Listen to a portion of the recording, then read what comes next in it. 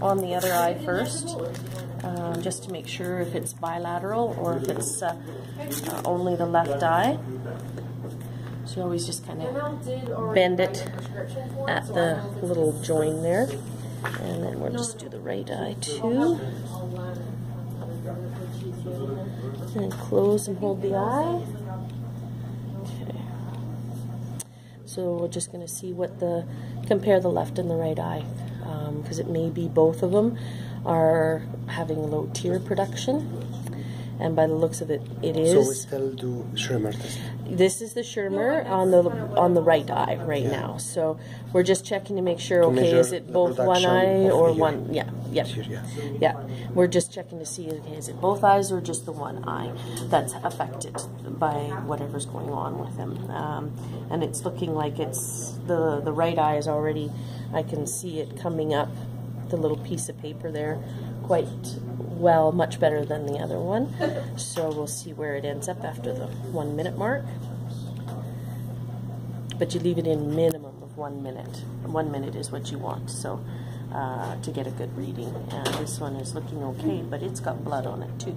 So you gotta wonder what the heck's going on with this little little guy's eyes. Okay. And this guy, so he's got a test of about uh, 12 on the right eye. Okay, so you can see the line there, and it's got some blood in it too. So now we're going to do the fluorescein stain. Whatever I did with it. There it is. So the fluorescein stain. Um, we use it for what? Uh, we checking for ulcers. Uh, this is the dye that goes in the eye, um, and we check the actual uh, cornea uh, for ulcers. What is this solution? This is just um, saline for the eyes, extraocular eye stream. And I just put a drop in, and a drop in this eye. You don't. It doesn't take much, and then what we do. So you just touch the eye? Yep, just with a little bit of little stain. Yep and then you'll see the yellow yellow there. You can actually see it and then I'm just gonna rinse it out a little bit so that we can see. And then can you pass me the blue light?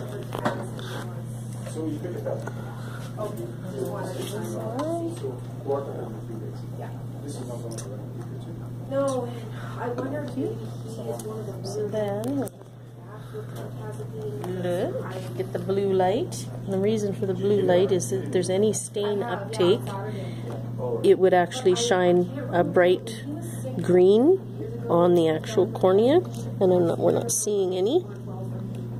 Okay, this eye is good. That eye is good. This eye should be good considering he